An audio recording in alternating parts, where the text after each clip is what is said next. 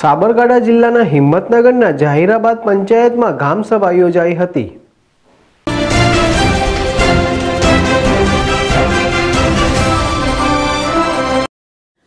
આજ રોજ હિંમતનગરમાં આવેલ જાહેરાબાદ પંચાયતમાં સરકારના આદેશ અને નીતિ નિયમો મુજબ ગ્રામસભાનું આયોજન કરવામાં આવ્યું હતું, જેમાં મોટી સંખ્યામાં જાહેરાબાદ વિસ્તારના ગ્રામજનોએ હાજરી આપી પોતાને પોતાના વિસ્તારની સમસ્યાઓની રજૂઆત તલાટી શ્રી જીતેન્દ્રસિંહ રાજપૂત અને સરપંચ નસીમબેન સફીભાઈ મેમણ સમક્ષ મૂકી હતી, જેની નોંધ સરપંચશ્રી એ લઈ સમસ્યાઓનું નિરાકરણ લાવવાની ખાતરી ગ્રામજનોને કરી હતી.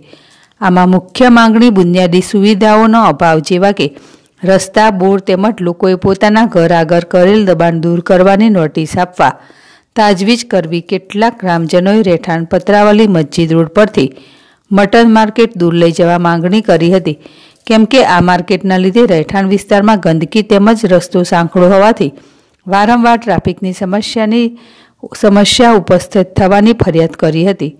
ગ્રામજનોની ધારદાર રજૂઆત એ હતી કે છેલ્લા એક વર્ષથી પંચાયતને સ્થાયી તલાટીને નથી મળ્યા. હાલ જે તલાટી સાહેબ છે તે પાંચ પાંચ પંચાયતોનો ચાર સંભાળતા હોવાથી જાહેરાબાદમાં અઠવાડિયે માંડ એકાદ બે વખત હાજરી આપતા હોવાથી ગ્રામજનોને જરૂરી દાખલા તરતમાં જ કાગળ ઉપર સહી કરાવવા વલખા મારવા પડે છે, જેથી પંચાયતને સ્થાયી તલાટી આપવાની માંગણી પણ ઉઠી હતી. સૈયદ સોયબ, જેડેશ ટીવી, હિંમતનગર.